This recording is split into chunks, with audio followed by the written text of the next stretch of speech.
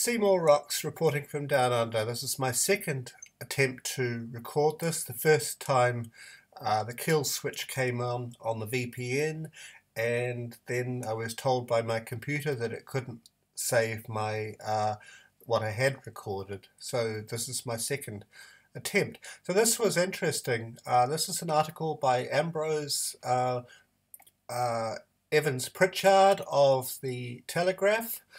Washington can pull the plug on Hong Kong's economic model at any moment. Unfortunately, I was unable to uh, get the entire article, even though I have subscribed to my one article a week. Uh, so I'm going to uh, go to um, TruNews now. Um, they're a Christian organization. They've got very, very uh, conservative views on things.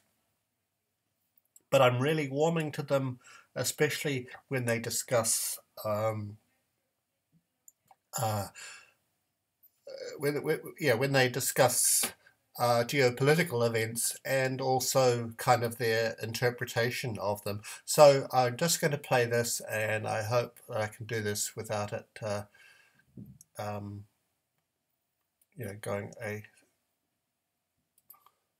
I, read today Ambrose Evans Pritchard in the Telegraph uh, published an article Washington can pull the plug on Hong Kong's economic model at any moment. Yeah, so what's going on with this, Rick? I hadn't thought about this. The, the, the, the, the clout that Washington would have over China regarding Hong Kong, uh, because Hong Kong is, a, is an enclave. It's, it is, uh, the Chinese mainland claims it as Chinese territory, uh, but because Great Britain had control of it, it's it's in a special enclave, just as Macau Island is an enclave.